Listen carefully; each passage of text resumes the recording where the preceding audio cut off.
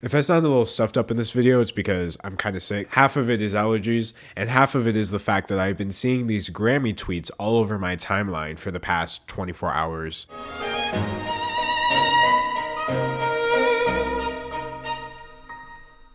Hi, welcome back to me talking about whatever I want. Today I want to talk about the Grammys and why they're a mess and apparently how rich people don't know how to dress. Okay, I'm not sure why that rhymed. Somebody should give me a Grammy for best rap album. But first, of course, I want to do a comment shout out from my last video. So this comment is from PS Sam and it says, this is so unreal. Like we are actually getting a video every day.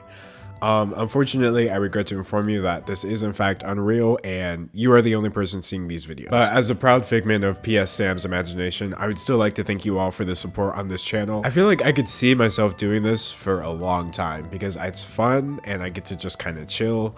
Um, but not today. I have no chill today. I don't even follow anybody on Twitter, and yet I've still somehow seen everyone's Grammy outfit at least twice. So for some of you who don't know, the Grammys is an American music awards show, and like most awards shows, it's trash. Recently, they've gotten called out by Tyler the Creator for their extremely biased categories. They also got called out by a former CEO for allegedly having an unfair voting process. You know, it's all just fake and annoying. Okay, with that being said, it's actually probably the perfect award ceremony to celebrate the state of pop music in America. Now, I was just gonna go through and give my opinion on everyone at the Grammys outfits, because as you can see from my hipster jacket that proves that I'm too cool for the Grammys, I'm definitely an expert on fashion. But I thought, why make half of everyone watching this video mad by insulting their fave?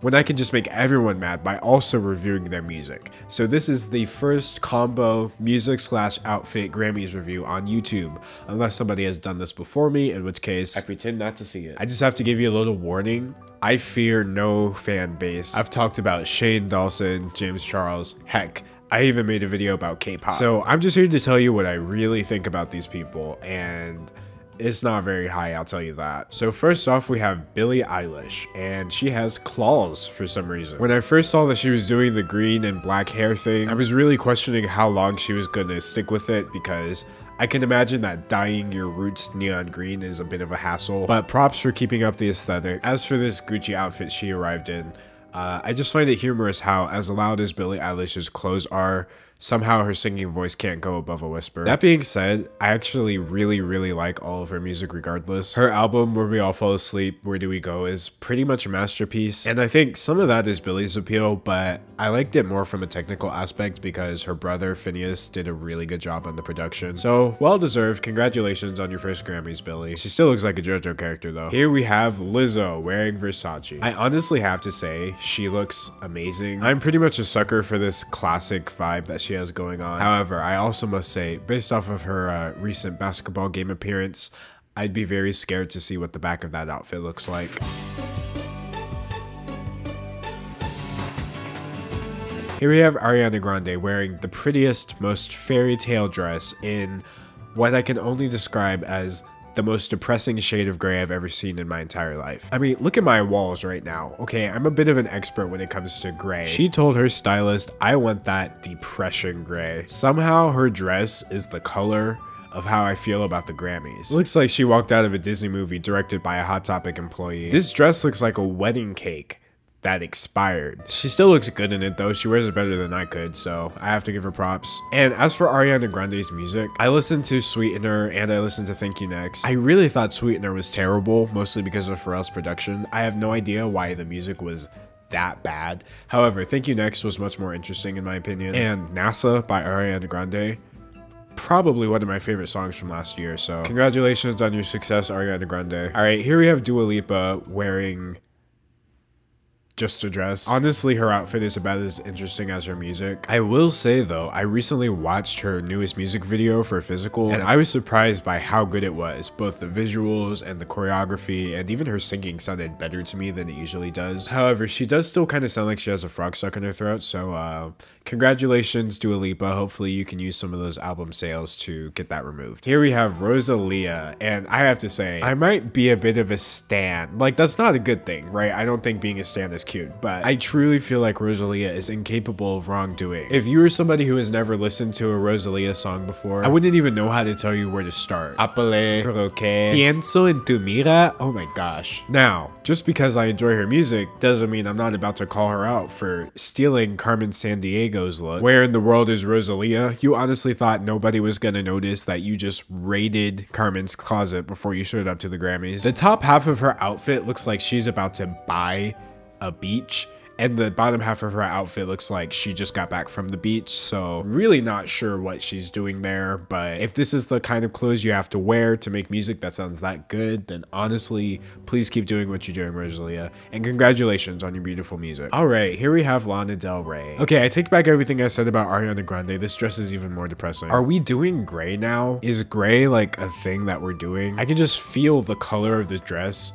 draining my color. I'm no longer a person of color because of Lana Del Rey's Grammy outfit. That being said though, I have to say this is just still very her. It's, it's like somewhat hippie-ish, very classy compared to some of the other outfits. I'm making a lot of jokes, but I honestly think she looks really good. As for her music, I don't know. I don't dislike Lana Del Rey's music at all, and I think specific songs of hers are really beautiful. However, I just feel like she has a very heavy aesthetic, and if you're not a fan of that, it can be a bit hard to get into her albums, and that's kind of the block I've been running into lately, but I'm still listening to everything she puts out because I think she's very talented. So congratulations, Lana Del Rey, on your beautiful music. Alright, here we have Lil Nas X and Billy Ray Cyrus. Um, so this picture represents the full range of human capability. Here we have have Lil Nas X doing the absolute most that a human being can do, standing next to Billy Ray Cyrus, who didn't try. Seeing Billy Ray Cyrus in this black leather jacket makes me sad that I own and am wearing a black leather jacket. Billy Ray Cyrus wore a t-shirt to the Grammys. Just a t-shirt and jeans no less. You can tell that he didn't try because the caption for this image says Lil Nas X and Versace and Billy Ray Cyrus. Like he doesn't even have a brand. He just this is Billy Ray Cyrus in Walmart. And I say this as somebody who's gotten most of what he's wearing right now from Walmart. That being said, Old Town Road, I'm really tired of hearing. I think Lil Nas X is very musically talented. I'm actually surprised at the range of genres that he can cover.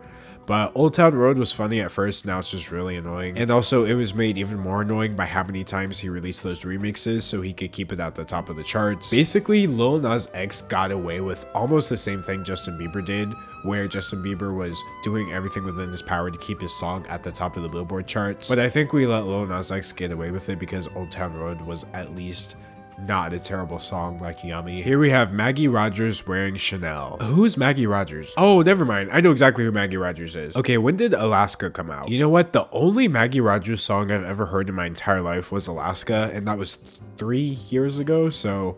I can't really say anything about her music. I will say she kind of looks like a witch. Also, I could be wrong, but I feel like she's holding a hydro flask decked out in diamonds and jewels. So if that's what you want to do. 2019, we had VSCO Girls, now we have VSCO Witches. But anyway, congratulations, Maggie Rogers. I'm sorry that I haven't listened to your music in years, but I will go back and check it since I've seen you here. Here we have Usher in Balmain. I mean, okay. It looks like he's wearing three different outfits right now, so I really don't know where to start. This picture is so dark, I can't tell what material his pants shirt or shoes are made out of. It looks like this man is wearing a black hole and it's sucking his jacket into it. As for Usher's music, I think it's good. I mean, there's not much to say because he's been famous for, what, a decade? He's always been talented. He puts out really good stuff. I think he's just a good, long-lasting artist. So congratulations, Usher. Here we have Camila Cabello. Now, the thing is, every time I see her, she's getting canceled over something. So I, I don't know what's going on with Camila. So if I say I like her music and she turns out to be problematic, that's not on me because I do not know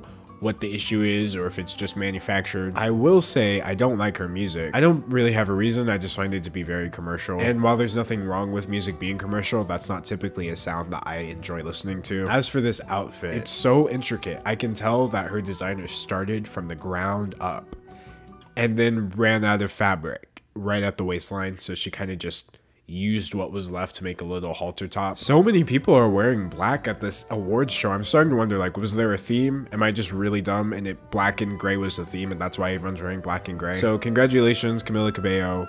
I hope you don't get canceled again in 2020. Here we have Grace Elizabeth, and I straight up do not know who Grace Elizabeth is. I'm sorry. I can't even find a Grace Elizabeth on Spotify. Maybe she doesn't do music. I have no idea who this is. Uh, as for the outfit, it looks very uninspired. Here we have BTS. Alright, so I already shared my opinions about BTS. I don't like them. However, I can acknowledge that they're extremely talented. Um, I will say that this is a horrible collection of outfits. Even though with me saying that, I can just, I can feel the BTS stans typing right now. Well, what you don't understand is that each one of these outfits represents their specific personality. And if you actually listen to BTS, then you would know that it's like, it's okay. I don't care, but that's cool that you do. Okay, this person on the left, he looks really good in my opinion. He has a kind of Men in Black vibe. And the person on the right has like this high-tech butler look going for him. Um, everybody in the middle though just looks really boring and I'm sorry. Here we have Shawn Mendes. Basically, this outfit represents the fact that men's fashion stopped being interesting about 300 years ago. However, it's a cool color. As for Shawn Mendes' music, I don't like it. Um, but I do think his success story is pretty amazing, like the way he got started on YouTube. And I can acknowledge that he's very talented in both um, instruments and singing. So I think he deserves his success. Congratulations, Shawn Mendes, on your extremely commercial music. Here we have Ella Mai wearing Armani. Bro, I love Ella Mai's music. I'm sorry. Her voice is so good, and her music videos on top of that. I think I've rewatched all of her videos way too many times to give a fair opinion. However, that being said, I can still acknowledge that she looks like the bow that you put on top of a Christmas present. But then there's just no present. She's just the bow. This dress is just red fabric. Here we have Joe Jonas and Sophie Turner. The thing that's freaking me out right now is Joe Jonas's jacket is the exact same cut as mine, even down to the sleeves and this collar. But it looks like it was made out of upcycled plastic. As for Sophie Turner, she has a very, I'm not allowed to compete in this pageant, but I sure as heck am gonna make sure my daughter does look going on. As for Joe Jonas's music, I don't know. I've never been like a big Jonas Brothers fan. However, it was super cool that they're having a comeback and I'm glad that they were able to come back and be so successful. So that's absolutely amazing. Congratulations, Joe Jonas. Okay, here we have Billy Porter. I feel like I am not rich enough to give my opinion on Billy Porter's outfit. I'm really curious as to how he was able to pull this outfit off when it's like skin tight yoga pants. You know, generally guys don't wear stuff like that because there's like stuff there, but when I look at this picture, there's not stuff there. So I know what had to happen for this outfit to work, and it's making me uncomfortable just by association. Also, I just have to point out, looks like he has a lampshade on his head. As for Billy Porter's music, I haven't really like listened to any songs of his if he has those, but I have listened to him sing other people's songs live and his performance was incredible. Amazing singing voice. Congratulations on your success, Billy Porter. It's well deserved. Here we have Chrissy Teigen. Oh, I'm sorry. Uh, Croissant Teigen, because that's what it looks like she's wearing on her shoulders. I'm not sure what this shape is. It's unique. I will say though, the color of her outfit is super cool. Anything's an improvement over that Ariana Grey. Also, can somebody tell me why Chrissy Teigen is famous? I'm not even trying to be shady. I just what does she do? I know she doesn't sing, right? Here we have Heidi Klum looking like um the mirror that's right behind me. And that's really all I have to say about that. Here we have H.E.R. and I uh, I'm I'm being attacked. There's too much going on. I'm suffering from visual overload right now. I said that that other guy was wearing three different outfits she's wearing three different outfits from three different centuries and three different countries. And you know what? Somehow I have never heard a song by her before. So that's on me. I'm sorry. I will do my research and then come back with an updated opinion. Here we have Shania Twain. Why does Shania Twain's outfit look exactly like Maggie Rogers' outfit? If I'm not mistaken, she does country and I really don't know enough about country music to remark on that. As for the outfit, all I'm saying is that she's blending into the wall, and that's not ever generally a good look. Here we have Gwen Stefani and Blake Shelton. What is wrong with this picture? Wait, she looks like a toy. Why is his head so much bigger than hers? This looks edited, but this is on Vogue's website. It looks like Blake Shelton is Jeff Dunham and he showed up with Gwen Stefani as a puppet. This is the most awkward picture I've ever seen in my entire life. That being said, he's wearing easily one of the most boring outfits from the Grammys, and she wedding cake. As for their music, uh, Gwen Stefani is obviously a classic, and Blake Shelton, I don't really know who he is. Uh, seeing as his albums have titles like Fully Loaded, God's Country, and Red River Blue, uh, yeah, this is definitely a country artist. All right, here we have John Legend. Thank you for wearing anything other than a suit. I really can't explain to you how much it gets on my nerves that men's fashion is like the most boring thing in the entire world. I say as I'm wearing a black leather jacket and a gray t-shirt and a gray beanie. So thank you, John Legend, for trying. Um, the unfortunate part is you didn't succeed. Now that I see this, I understand why men's fashion is boring. Just please go back to wearing a suit. No, no, all jokes aside, the asymmetrical look is interesting. It just, it doesn't work in my opinion. It's like he wanted to be unique, but he didn't want to be that unique. So he just, he stopped his designer halfway through and was like, just make the rest of it look like a normal suit. As for John Legend's music, what is there to say? He's easily one of the most talented singers in this generation. So congratulations, John Legend. Here we have Tyler, the creator. This outfit is amazing. I don't have anything else to say about it. His album, Igor, deserved all the Grammy Awards. Best country, best instrumental, I don't care. It deserved every single Grammy at the show. Seriously, who would wear this to the Grammys other than Tyler the Creator. Everyone else brought their little Chanel bags. He brought a literal suitcase. Here we have Alessandra Ambrosio and I who is that? As for what she's wearing, it looks like she has a struggle in her soul between dark and light and she asked her designer to recreate that via fabric. Her earrings look like dimensions to her soul. I'm telling you, if this outfit doesn't have some sort of mystical soul defining purpose, I don't know what does. That being said, I still have absolutely no idea who she is, so I don't care. All right, here we have FKA Twigs. Have y'all listened to her latest album? If you haven't, I can't explain to you how good her music is. She was in my top artists for 2019 just because of the sheer amount of times I played Magdalene on repeat. As for this dress she's wearing, I love her music too much to give my opinion on what I'm seeing right now. And oh. that's about all the opinion you need. All right, here we have Khalid. Khalid? Khalid. Khalid. I'll look that one up. And honestly, if you're not going to try to wear something interesting, I'm not going to try to give you commentary. However, he has very good music and I enjoy his singing voice. His collaboration song with Billie Eilish is actually really pretty and I listen to that very often as well as watch the music video, so congratulations, Khalid. Here we have Priyanka Chopra Jonas and Nick Jonas. Again, congratulations to the Jonas brothers. His suit the color of his suit is reminding me of something very specific, which is not popping into my head. Foil gold foil. It looks like he's wearing a suit made out of gold foil. As for Priyanka Chopra, clearly she I don't know. Great. Good job. I'm glad. Here we have DJ Khaled. Another one. Honestly, I do not like this man. I do not like the way he treats music. I do not like the things he says about other musicians. I do not like how entitled he is. I don't like what he's wearing. But I will say he's really good at his job because anything with DJ Khaled in the beginning slaps. So here we have Quavo and Prada and Saweetie and Moschino. Um, okay. Quavo looks like the carpet actually. He's wearing the exact same shade as the carpet, so I don't know what to say about that. Saweetie, this dress looks Okay, that sounded really patronizing. Her name is literally Saweetie. I like the design is kind of futuristic. I don't know, I think she looks really cool and different from everyone else there. As for their music, I think Quavo, his latest album was just awful. I think the thing about the Migos is they're all largely untalented, but when you put them together, you get about as much talent as you would get from one real person, so I guess that's why they work. And as for Saweetie, I'm pretty sure I've only heard one of her songs in existence, so I really am not qualified. Here we have Swae Lee and... Okay.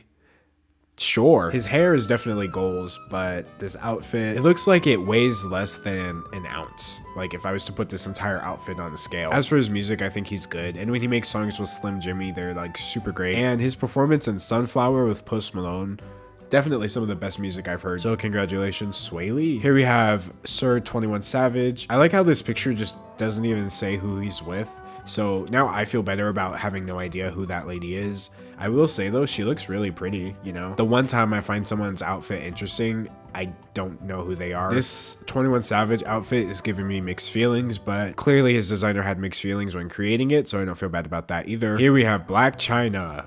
So whereas other dude looked like he matched the Grammys carpet, um, she's clearly wearing the Grammys carpet. Here we have Conor McGregor. Why is he here? He doesn't do music. Here we have Bonnie McKee. She was clearly angry at Disney's recent casting choice for The Little Mermaid, so she just decided to be the Little Mermaid herself. Here we have Gloria Gaynor, and I don't know who that is. I'm sorry. All right, so there were more people at the awards show, but this article pretty much put all the famous people at the top, so I think I covered them all. I don't really hate popular music just because it's popular. I just don't understand why a lot of it is popular. But I can confidently say that the Grammys as an institution is trash, so ultimately, who cares?